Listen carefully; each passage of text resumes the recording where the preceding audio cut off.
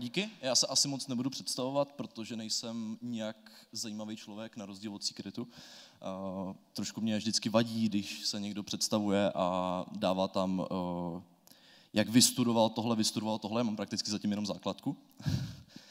a dneska vám tady teda budu povídat o Secret Network, uh, což je Private Layer 1, stavíme na kosmosu, jsme kompletně Cosmos SDK kompatibilní, fungují nám tam všechny možné věci jako IBC koly a tak dále, takže jsme schopni vyvážet privacy prakticky jako supply chain do ostatních chainů na kosmosu, což je vlastně ten důvod, proč se to jmenuje soukromí jako služba, protože Secret je spíš služba než samostatný chain. A první, co je důležité si vysvětlit, že neexistuje jenom jeden výpočetní způsob, existuje jich mnohem víc. Většina asi věcí na Ethereum tak používá ZK Proofs, používají se jak pro škálování, tak tady v tom případě pro privacy, ať už to je Aztec nebo Tornado.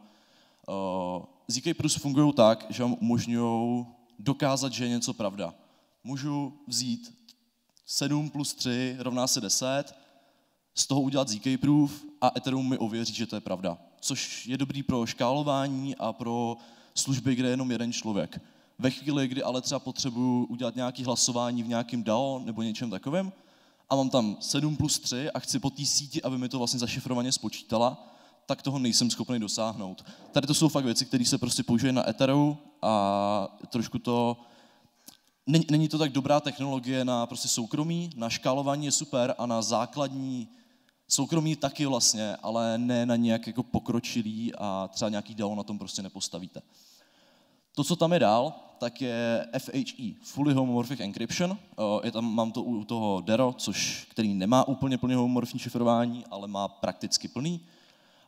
To funguje tak, že vezmete ten příklad, zeptáte se ty sítě, kolik je ten výsledek a ona pomocí, pošlete to tam, zašifrujete to a ta síť pomocí ohromného výkonu to dokáže spočítat. Což je celkem náročný proces, pokud by tady to měl počítat každý počítač, je to fakt strašně jako výpočetně náročný, ale na nějaký třeba menší transakce, tak to funguje úplně skvěle, nevyžaduje to vyloženě žádný specifický hardware, jenom výkon, což je pořád celkem problém, ale funguje to. A je to vlastně i dost bezpečný.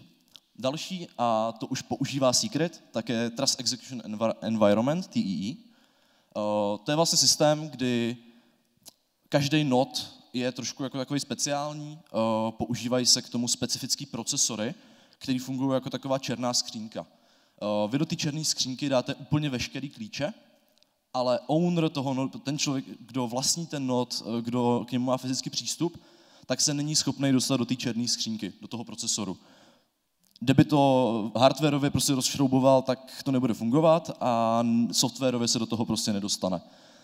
V tom procesoru tak se uchovají veškerý klíče. Tam se dá dešifrovat celá ta síť. To ale, jak to teda funguje, takže vy pošlete zase 7 plus 3 například a zašifrujete to a pošlete to vlastně do toho nodu. A každý nod si uvnitř díky těm klíčům to dokáže spočítat, dokáže vydat zašifrovaný výsledek, stejně tak jako u FHE, ale místo toho, aby jsme to dělali výkonem, tak to děláme nějakým jako chráněným výpočtem. Což je mnohem rychlejší, je to mnohem výkonnostně méně náročný. Problém je, že k tomu je potřeba specifický hardware a tak je občas problém trošku s testováním, protože každá, každý ten procesor je trošku jiný a dost to potom může dělat občas problémy. Zrovna na Prague Blockchain Week Opening Party, tak jsem se právě bavil s jedním validátorem, který validuje na Secretu a říkal, že jako spravovat tu noudu je celkem šikana. Eh, každopádně zase na druhou stranu musel uznat, že performance té sítě je prostě násobně jinde, než kdybychom používali něco jiného. Další, co se používá, tak je MPC, Multiparty Computation, což je v podstatě systém, ve kterém vy vezmete ty klíče a místo toho, abyste všechny uložili do toho noudu, tak je rozdělíte. A každý z těch validátorů nebo z lidí, kteří to mají provádět ty výpočty, tak dostane jenom část toho klíče a jsou schopní vlastně provádět části těch výpočtů a ve výsledku je dělat sice nechráněný, ale nejde složit ten výsledek a ten výsledek může složit jenom ten, kdo to má, k tomu má ty klíče. Když to známe, víme, jak funguje teda Secret a teda Secret všechny možný druhy šifrování, tak tady je struktura vlastně Secret Network, která je strašně jednoduchá. My tam máme nějaký kosmvazm, což je standard na kosmosu, je to klasická vrstva, používají třeba Osmosis, Osmosis nepoužívá čistý kontrakty a podobné sítě, třeba Juno a tak dále, tak většinou nepoužívají žádný kontrakty na úrovni, jako máte třeba na Ethereum, že prostě deployujeme na ten chain a pak se dotazujeme nějaký transakce v té síti, ale integrují ty věci často na úrovni celého protokolu. Takže prostě se udělá vlastně hlasování v případě třeba Osmosisu a v podstatě se udělá fork a integruje se to opravdu do základu té sítě, což je třeba bezpečnější, ale uh, Secret by tady v tom měl problém, proto pod to přidáváme další vrstvu, kdy my jsme vlastně skopírovali celý CosmWasm, ale udělali jsme ho kontraktově, takže kdokoliv může nasadit uh, kontrakt a nemusí kvůli tomu třeba dělat hlasování nebo jakkoliv forkovat tu síť. Uh, tady to nám dělá uh, to, že vlastně my tam máme obě dvě ty části. Na té jedné části tak vlastně nic není private, například transfery klasického secretu, tak nejsou private, jsou kompletně public. A další třeba jako bridge a tak dále ale vy potom máte možnost, stejně tak, jako si můžete vrapnout EVE z Etheru na vrapovaný Ether, tak si můžete v podstatě vrapnout třeba Secret nebo jakýkoliv jiný coin, třeba Atom, do něčeho, co se jmenuje potom S-Atom, S-Secret, a to už má šifrované transfery a už to funguje na úrovni těch zabezpečených nodů. Tady máte strukturu, jak funguje Trust Execution Environment, což je aktuálně to, co používáme primárně, potom ještě používáme multiparty computation, ale to jsou zatím jako experimentální věci, které vlastně v té síti jako nikdo nepoužívá, zatím se testují, eh, stejně tak jako FHE, který bylo nasazený, myslím si, že někdy před čerejškem eh, to zkusili nasadit, ale ještě to není v jako produkční fázi. Eh, tady máte teda nějaký schéma, jak to funguje. Tady máte node, v tom je nějaká černá krabička, ve které jsou veškeré klíče. Tady máte nějaký blockchain, ale všechny ty bloky to mají zašifrovaný. A když chcete po té síti, aby to spočítala, tak vezmete ten blok, který je zašifrovaný, dáte ho do toho nodu, ten si to pošle do toho procesoru, kde si ten blok odemkne a normálně ho spočítá, pak ho zase zašifruje a je ho schopný poslat zpátky, když tam je nějaký výpočet. Pokud ne, tak prostě si třeba ověří, že ta sítě je jenom dobře.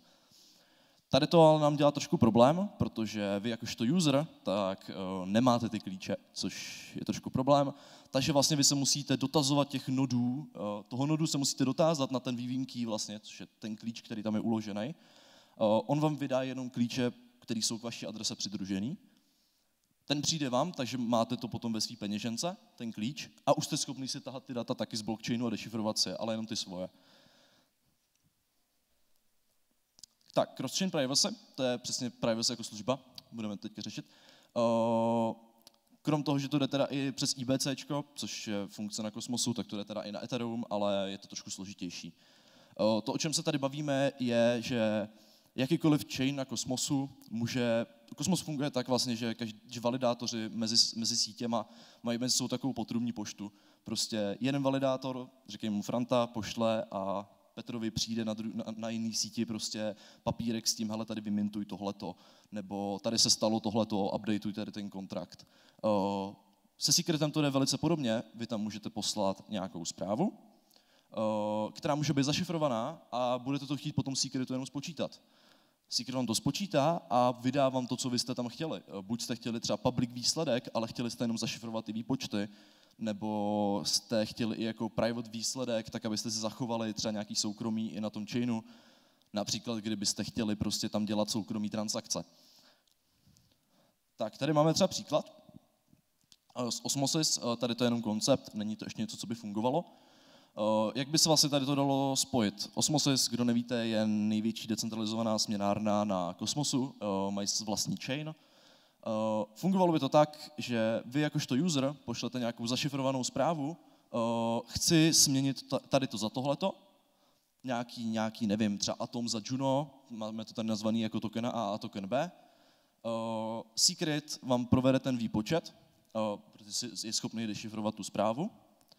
A v tu chvíli dojde k tomu, že on to teda spočítá, řekne, hele, ty síti odešly mu tohleto a tady tomu Uber, tady k tomu máš důkaz o tom, že, jsem to, že jsme to spočítali správně, což když se vrátíme trošku, tak na to se dají použít ty ZK proofs už. Ale vy musíte provést ten výpočet, abyste udrželi to soukromí. A po tom výpočtu už to, už to nepotřebujete. A můžete tam použít ZK Proof, abyste dokázali, že jste ten výpočet provedli správně, protože ty sítě neumějí pracovat s tím vaším šifrováním. Takže se nám ty private technologie krásně kombinují a je vidět, že prostě nakonec nepotřebujeme jenom jednu, ale potřebujeme jich prostě víc. Ten to teda spočítá a řekne, pošli mi tady to a k tomu teda přidá ještě ideálně nějaký ZK proof a Osmosis to jenom provede. Eh, díky tomu jsme vlastně docílili toho, že například jsme se vyhli frontrunningu, což je velký problém na decentralizovaných směnárnách, kde máme public transakce, protože validátoři když si kupujete za váš například nějaký stablecoin, třeba USDC si kupujete Ether, tak validátoři například na Etheru udělají to, že dobře, tady někdo si chce koupit Ether za USDC, tak já ten Ether nakoupím před ním a potom, co on si to svepne, tak to zase prodám. On mi tam mezi tím vypustí cenu a ten validátor na tom prostě profituje a ničí cenu těm uživatelům, což je prostě nepříjemný. A tady to Secret dokáže takhle vyřešit, protože když tam máte šifrovaný ten výpočet, tak to nikdo nedokáže nějakým způsobem frontrunnout nebo udělat něco takového. Což je prostě skvělý a díky tomu se vyhýbáme eh, nějakým jako eh, právě tady tomu frontrunningu a tak dále, což je určitě jako bezpečnější pro uživatele a nechává to opravdu, opravdu to nenechává parazitovat nějaký výpočetní servery na uživatelích. Tak, Secret DeFi krom toho, že teda fungujeme jako privacy as a service, takže bychom rádi jako vyváželi tu privacy, poskytovali bychom ty služby ostatním sítím, tak zároveň jsme i layer one blockchain, takže uh, děláme prostě svoje vlastní DeFi aplikace a je to nazvaný, když nechcete, aby vám soused záviděl. Uh, hele, nevím, kdo z vás tady máte třeba ENS. -ku? Kdo tady máte ENS adresu? OK, a máte třeba, používáte tu adresu třeba na půjčky? Použili jste ji někdy třeba na půjčky? OK, tak to, je, to, to rád slyším.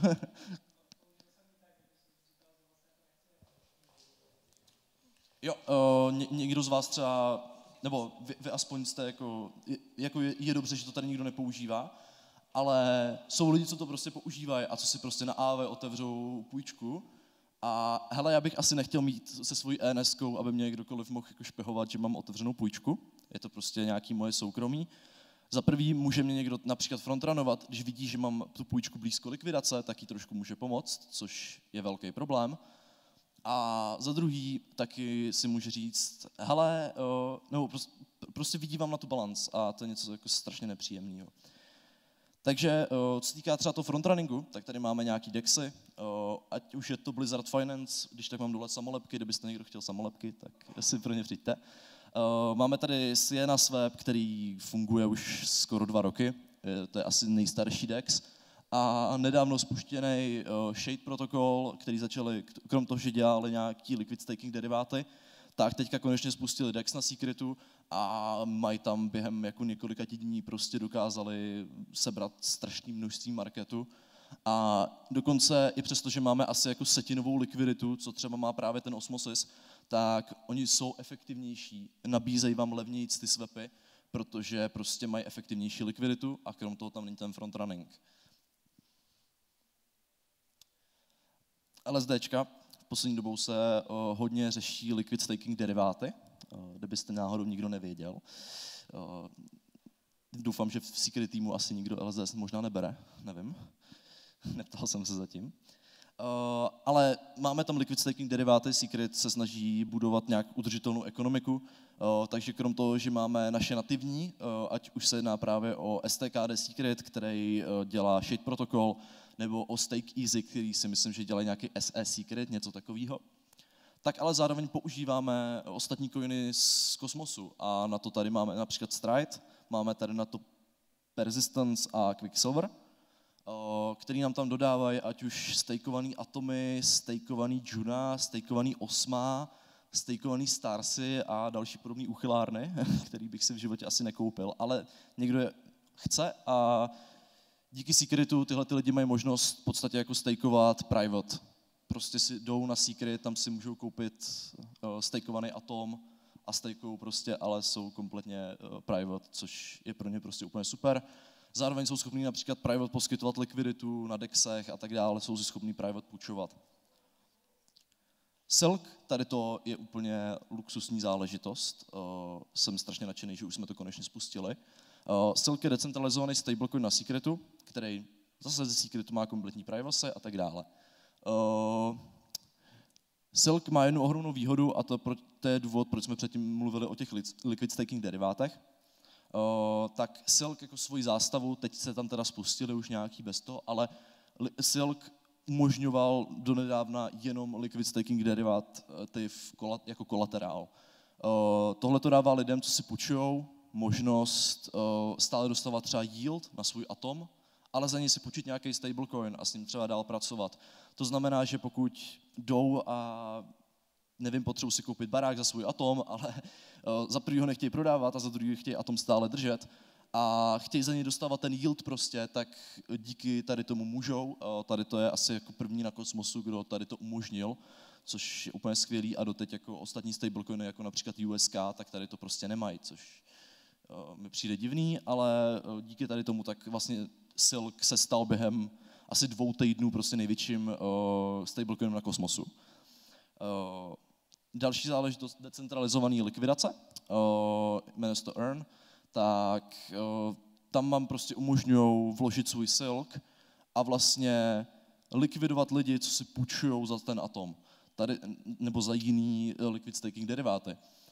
Což za prvý vám dává možnost trošku profitovat, protože si z toho berete nějaký fíčko, průměrně to je asi 10%, což je hezký za to, že eh, někam dáte silk a potom si za to prostě, se vám za to vlastně jako nakupuje například Atom nebo Juno s 10% slevou, což je prostě hezký který můžete klidně hnedka prodat, není problém. Eh, a zároveň nám to umožňuje to, že to není troš, tak jako centralizovaný, jako třeba DAI má likvidace troš, trošičku takový jako pro velký kluky a tady to vám prostě umožňuje fakt jako vložit peníze do půlu a funguje to kompletně autonomně.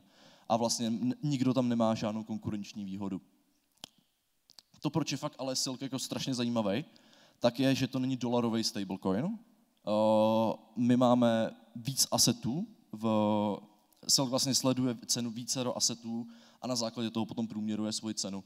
Uh, takže ať už je tam kanadský dolar, uh, americký dolar, japonský jen, máme tam 6% bitcoinu, máme tam euro a máme tam 18% zlata, takže je to trošku stabilnější, uh, máte tam bitcoin, máte tam zlato, pokud jste v kryptu, tak tady to je asi to, co vás trošku víc zajímá, takže to je takový jako ultimátní koš věcí, které by vás měly zajímat.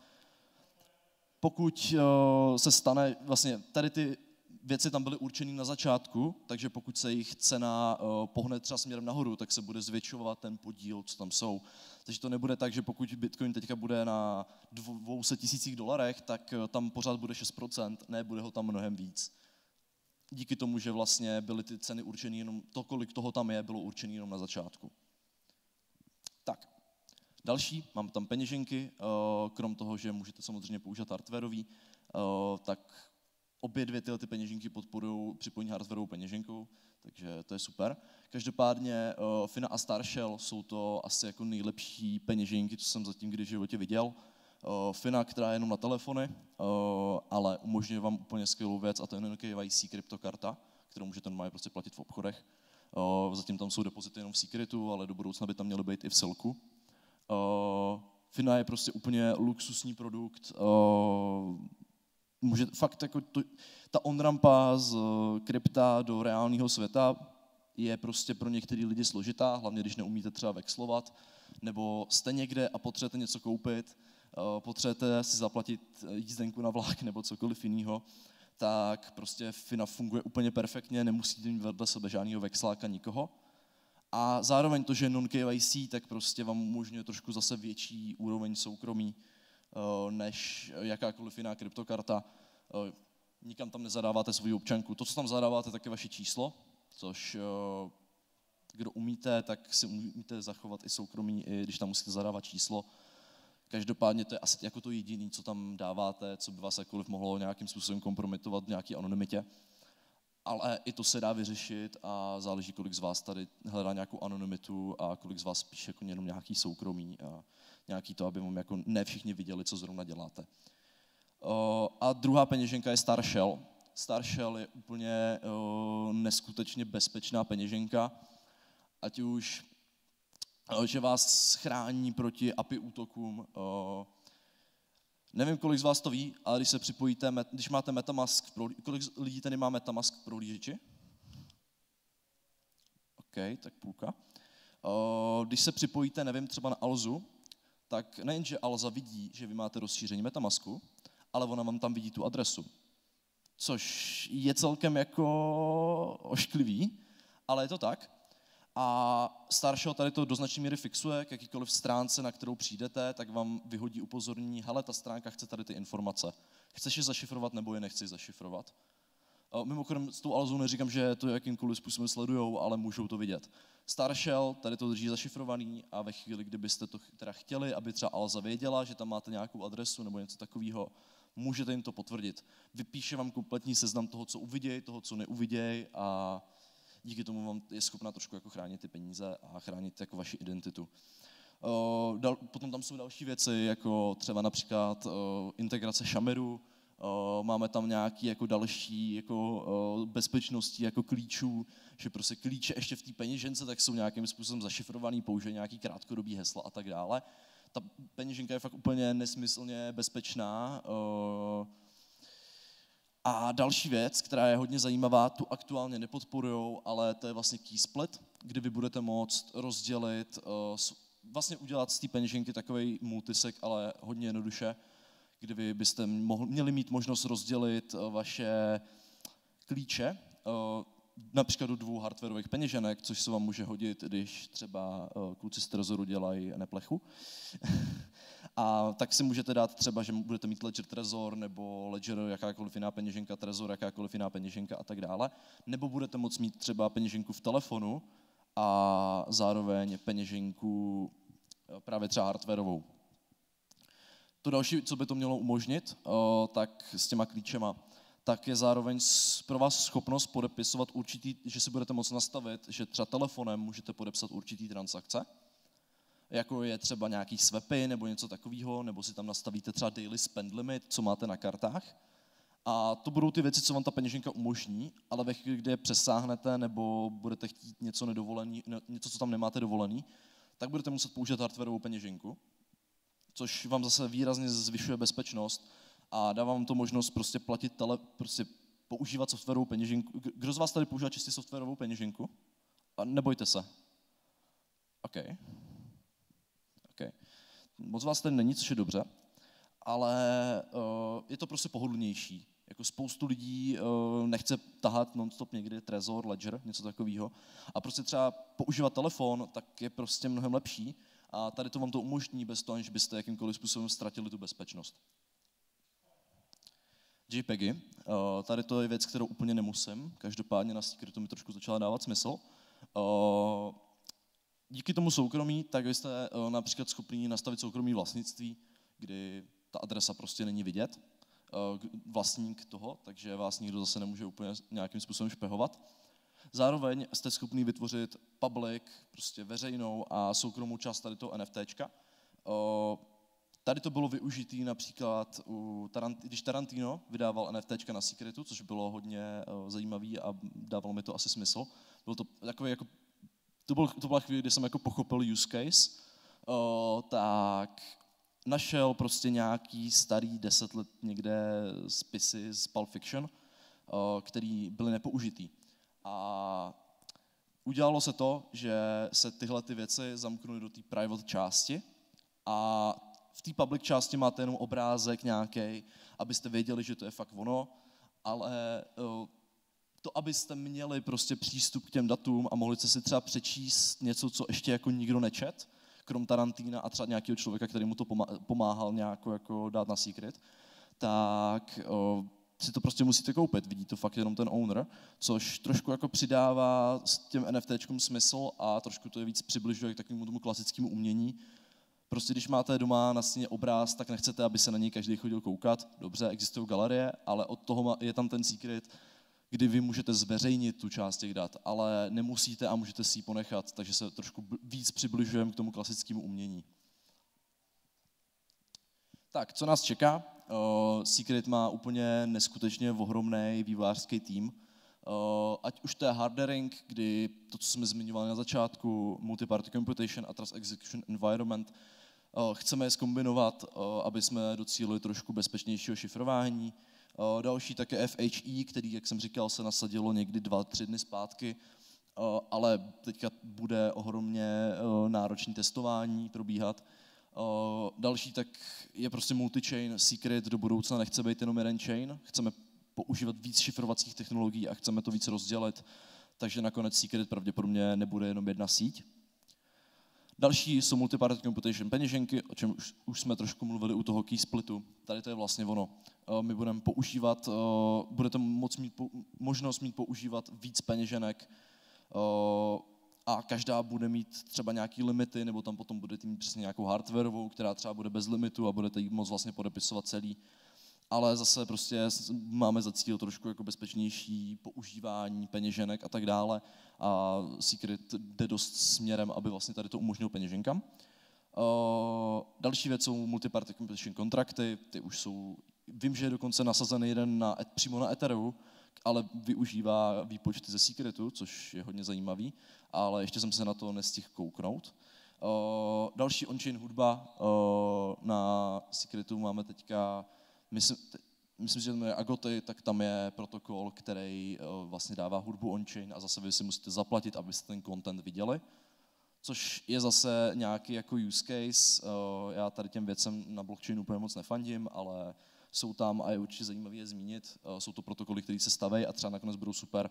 A na podobném principu například něco, něco ve stylu OnlyFans na Secretu, což absolutně nechápu, jak mohl někdo zafinancovat, ale eh, někdo to zafinancoval a jestli to dostaví a bude to mít token, tak země možná bude investor do pornoprůmyslu. Eh, jak se zapojit? Uh, Secret má celkem velkou komunitu, ať už máme fórum, dapky, můžete jim dávat feedback. Já jsem dělal nějaký feedbacky pro dapky a vždycky byli strašně vděční, protože to nikdo moc nedělá a ty dapky prostě tím, že to jsou private, tak je to trošku složitější na user experience a potřebují nějaký feedback. Kdykoliv vyzkoušíte nějakou dapku na Secretu a najdete tam chybu, prosím vás, hnedka to reportujte buď mě, anebo těm týmům, já to když tak předám těm týmům, protože nemám na všechny kontakty. Governance, máme prostě normální hlasování o prakticky všem, co se děje na Secretu. Nedávno, co týká hackathonů, tak nedávno byl Hack Secret, kde bylo odměny asi 50 tisíc dolarů. Potom ještě dapky si dávali něco jako externě. Myslím si, že dohromady to bylo asi nějakých 100 tisíc, což bylo fakt hodně. A vyšly nám z toho asi jako pět fakt jako hodně nadějných projektů, který snad doufám se někdy spustí ale byly tam fakt jako extrémně zajímavé věci, které úplně nemůžu publikovat, protože to bylo do značné míry private. Pokud, vy, pokud je tady někdo nějaký vývojář, uh, tak se můžete zapojit uh, do grantů, ať už těch hackathonů nebo, nebo i grantů. Uh, Secret Labs tak poskytují granty a financování uh, vývojářům, kteří chtějí vyvíjet na Secretu. A další věc je Secret Agency, kde pracuji já a tam máme prostě komunitu strašně moc lidí, kteří se snaží šířit povědomí, ať už o čistě soukromí, o důležitosti soukromí, tak i o secretu. Takže já vám děkuju. Uh, UTX za chvilku bude končit za pár hodin, takže uh, doufám, že se s váma uvidím příští ročník a asi dáme nějaký prostor na otázky. Přihlaste.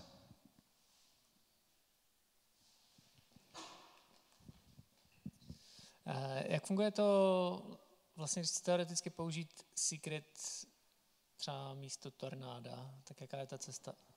Uh, celkem jako složitější než u tornáda. Ty musíš například, pokud chceš uh, takhle jako mixovat ether, nebo ne mixovat, ale chceš takhle jako si zanonymizovat třeba étery, tak je musíš bridgenout na secret, tam se musíš zeptat toho nodu od ten vývinký, uh, není to zase tak složitý. Uh, potom to musíš ten private ether poslat na jinou adresu a tam teď si ho prostě jenom vybrat.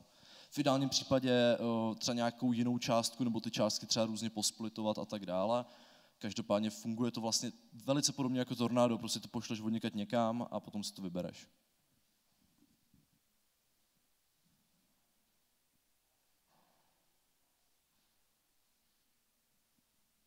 Jestli už nejsou žádné otázky, což je trošku škoda. Když jsem byl v Brně, tak jich tam bylo asi 20. Uh, Jo, uh, nevím, kolik z vás to ví, ale uh, krom toho, že tady teda je spoustu eventů jako v rámci Prague Blockchain Week, tak jedním z nich je Web3 Privacy, který uh, bude zítra. Uh, zároveň tak teďka je Cosmos Getaway, kde taky mluví nějaký lidi ze Secretu a na Web3 Privacy budou taky, bude tam nějaký Slack, budou tam nějaký samolepky. Uh, ta konference nestojí moc a bude tam zadarmo pivo, takže doufám, že se tam s vámi uvidím. Poděkujeme. Jestli nejsou žádné otázky, tak díky. Tak poděkujeme.